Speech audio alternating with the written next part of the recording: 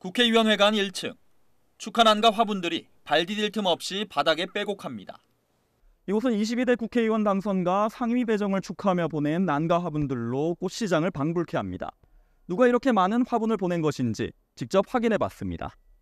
기업과 지자체, 공공기관 등 각종 단체에서 국회의원들에 보낸 게 대부분인데 보내는 쪽에서도 울며 겨자 먹기식인 경우가 많습니다.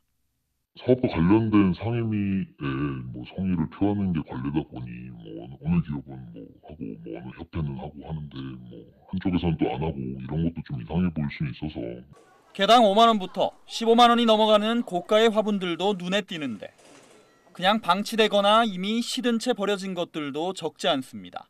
10개, 20개씩은 기본적으로는 들어오는 것 같은데요. 예. 너무 우후죽순으로 뭐 아, 잘 알지도 못하는 뭐 어디 협회 뭐 기관들에서 이렇게 막 이렇게 쏟아지는데 버려지는 것도 많을 거고 국회 사무처는 난가 화분이 수십 개씩 쌓여도 담당하는 부서가 없어 어찌할 방법이 없다는 입장입니다.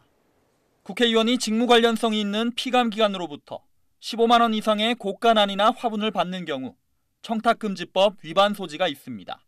축하난과 화분을 일체 받지 않겠다고 선언한 초선 의원도 나오고 있습니다. 받는 입장에서는 이게 얼마짜리인지 물어볼 수도 없잖아요. 초선 의원들부터 어, 고비용 정치 이런 불필요한 고비용 정치를 양산하는 화분이나 난 이런 거 절대 받지 않겠습니다.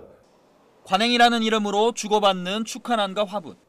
주는 사람 받는 사람 양쪽 모두 부담스러워하는 관행을 22대 국회에선 바꿔야 한다는 목소리가 나옵니다.